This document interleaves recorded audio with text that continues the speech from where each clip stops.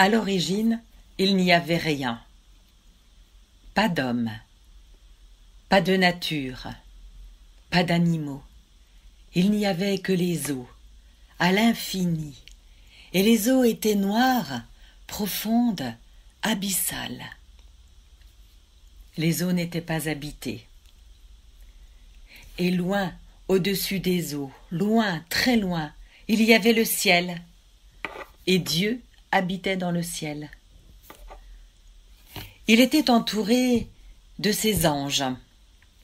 Mais un jour, certains d'entre eux se sont rebellés. Alors Dieu les a chassés.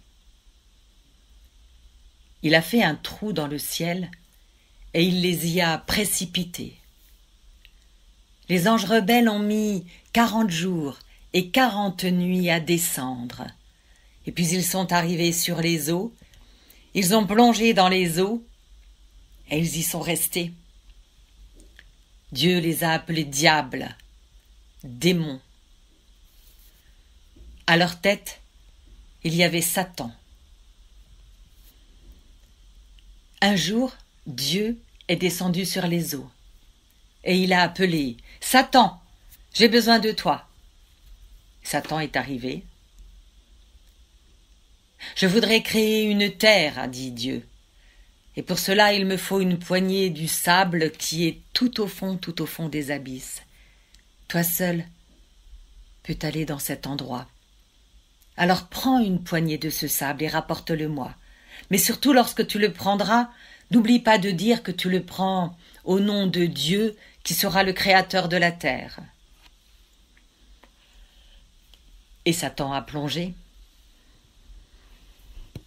La descente était longue, et pendant ce temps, Satan réfléchissait. Lui aussi voulait être le maître de la terre. Alors lorsqu'il a pris le sable, il l'a pris en son nom.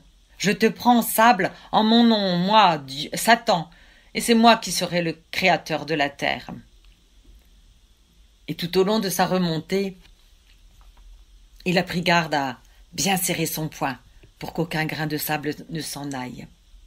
Mais lorsqu'il a présenté sa main devant Dieu, eh, bien il n'avait plus rien, plus un grain de sable. Tu as rusé, Satan. Plonge et fais ce que je t'ai dit, lui a dit Dieu. Et Satan a plongé à nouveau. Mais à nouveau il a rusé et, à nouveau, lorsqu'il est remonté à la surface des eaux, il n'y avait plus rien dans sa main. Ça suffit, dit Dieu. Maintenant tu vas plonger, et tu vas faire ce que je t'ai dit. Tu n'arriveras à rien sans moi. Satan a plongé, et cette fois-ci, il a pris le sable en disant Je te prends au nom de Dieu le Seigneur, qui sera le Créateur de la terre. Mais tout au long, tout au long de sa remontée, Satan, il a desserré peu à peu les doigts, et puis il a ouvert complètement sa main, afin de libérer le sable. Mais lorsqu'il s'est trouvé devant Dieu, eh bien, sur la paume de sa main, aucun grain de sable n'était parti. Alors Dieu l'a pris, il a tourné le dos à Satan, et puis Dieu a lancé le sable dans toutes les directions sur les eaux. Et puis il a étendu les bras au-dessus des eaux. Et à ce moment-là, chacun des grains de sable s'est gonflé, étiré, élargi.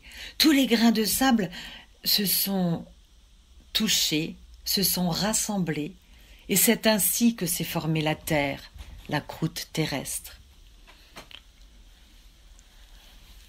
Et puis Dieu s'est retourné. Satan était rouge, les joues gonflées. Il faut dire que pendant que Dieu créait la terre, eh bien le diable avait léché consciencieusement chacun des grains qui étaient restés sur ses doigts et sur les paumes de sa main, et que lorsque Dieu avait créé cette terre, eh bien tous les grains de sable qui étaient dans sa bouche à Satan se sont gonflés, élargis, étirés, et là, Satan n'en pouvait plus, alors, alors, Satan a craché sur la terre. La terre auparavant était toute plate, mais là, chacun des grains de sable sortis de la bouche du diable s'est transformé en montagne, en pic, en rocher. Et immédiatement, tous les diables qui habitaient dans la mer sont sortis des eaux. Et puis ils ont escaladé les montagnes et les rochers, ils ont grimpé les uns sur les autres pour atteindre le firmament et le ciel. Mais Dieu, voyant cela, leur a lancé la foudre. Et les diables ont dégringolé, sont retournés dans les eaux,